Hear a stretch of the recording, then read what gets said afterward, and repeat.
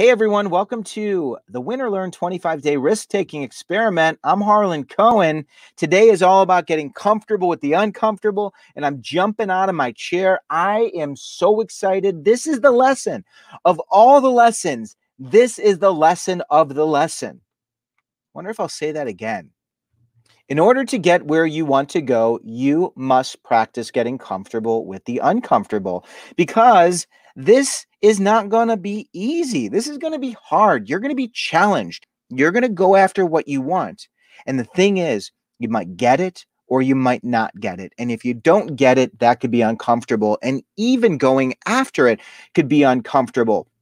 But here's the thing today, I'm going to share with you a universal truth. It's a law of nature that is going to help you to reframe how you look at taking risks and how you look at the discomfort that is often a part of going after what you want, saying what you think, acting in alignment with your joy, with your light. I want to help you to do that. Now, I want to be very honest that when you go through this process, it's going to hurt. It's going to be hard at times. Like a boxer who enters the ring, the sport of taking risks is a sport that means you're going to get hurt. The physiology is such that when you face rejection, your body processes it the same way it processes physical cha- pain. So it hurts, it really hurts.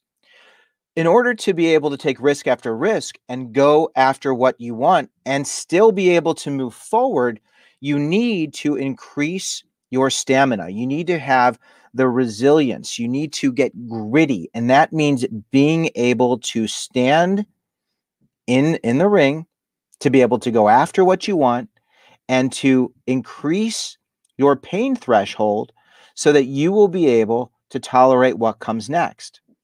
Now, this is where it gets really fun. You're thinking, Harlan, this this is fun? Like you think I'm sadistic? No, because it doesn't have to be so painful. See, you're going to feel all these emotions, the whole range of emotions. I should talk about being happy because the thing is, like, this is going to help you to be happy. It's going to help you to be balanced. It's going to help you to create so much more light in your life. But the process is work and the process can be uncomfortable. And if you allow yourself to feel it all, and if you give yourself permission to embrace it all, you're going to get through it. So just be prepared for the full range. I like to live by the 90 10 rule. The 90 10 rule says life's 90% amazing, 10% difficult, or a bunch of BS. If you fight the 10%, that's when you get into trouble. If you live 100 years, I'm giving you 10 years to be a curmudgeon. Now, the thing about discomfort, it's usually front loaded, usually happens when there's change. A lot of times it happens when it's there's unexpected force change but it doesn't linger forever if you allow yourself to feel it. Now, allowing yourself to feel it can be really difficult because that's where there's so much discomfort and so much pain. But that's where I'm going to give you something that can help you to manage the 10%, to make it so it doesn't take up all your time. Because when you fight the 10%, that's when life becomes 100% a big pile of BS. But when you give yourself permission to feel it, when you allow yourself to walk alongside the discomfort, it passes. But it starts with embracing the 10% and giving yourself permission to feel it.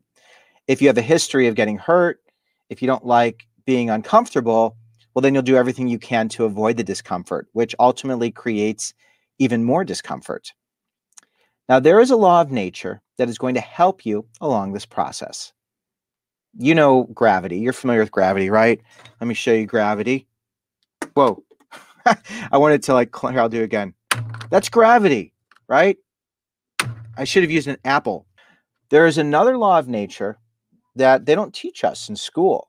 It's called the universal rejection truth. The universal rejection truth says that not everyone and everything will always respond to you the way you want. Some people will like you, some people will not.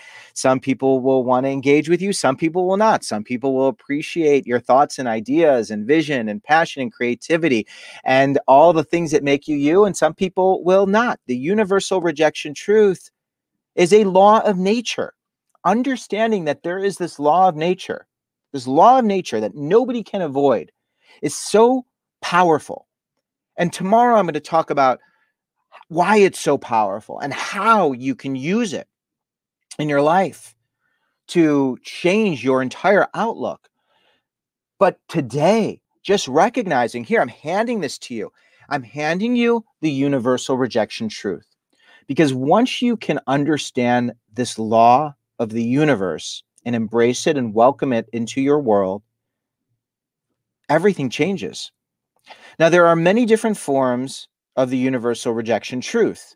Universal rejection truth of dating and relationships. Some people are going to give you what you want, some will not. The universal rejection truth of marriage. Some marriages last forever, some of them don't. That is just how marriage is. Universal rejection truth of being a parent, universal rejection truth of education, universal rejection truth of business, of learning, of sports, of finances.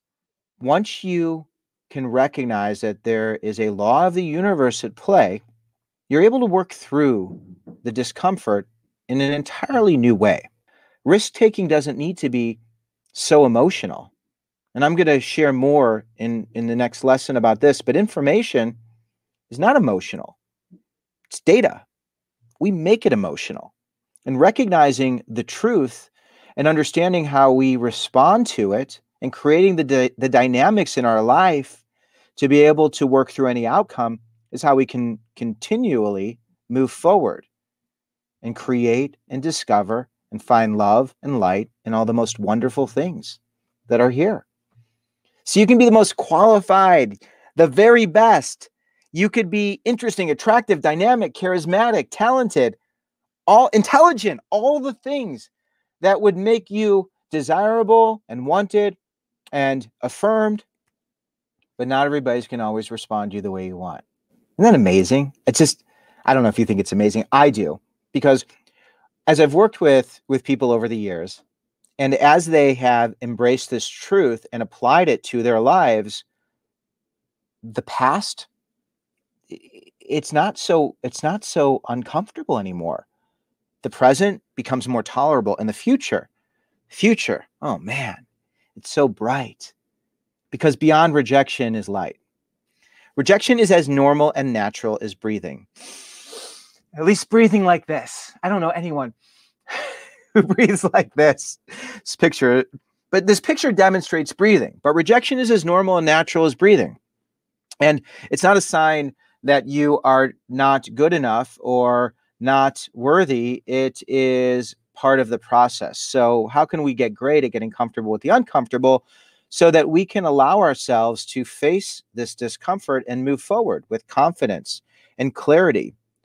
Turn rejection from something that's dangerous into something that's curious, that makes us curious, that's interesting. Now, here's the thing you can fight the truth. And when you fight it, you hate, hide, attack, deny, blame, shame, give up.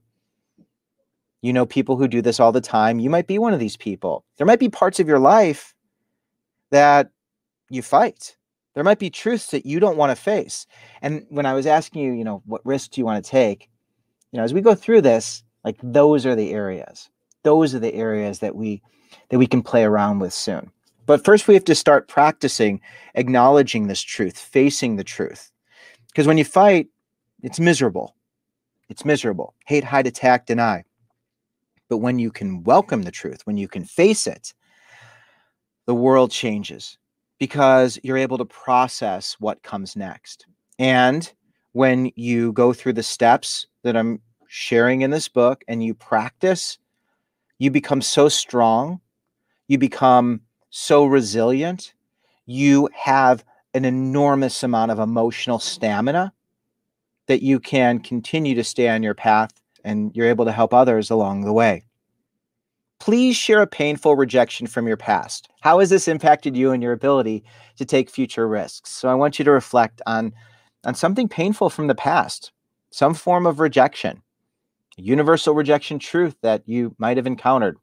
And I'd love for you to share that with me. And what I'm going to do is use these examples to help you to understand the power of the truth and how you can reshape how you look at discomfort past discomfort, present discomfort, and future discomfort. So please share this with me. You know all the places to get a hold of me. The Facebook group, I'm always there. I love seeing you there. Please share, contribute. You can also find me on social media. And also, please, this is really cool. You can invite people to participate in this experiment. It's ongoing. So share the link, share your experiences. I'm so grateful to be here. I look forward to hearing your stories. And as always, I look forward to being in your corner. Thanks, everyone.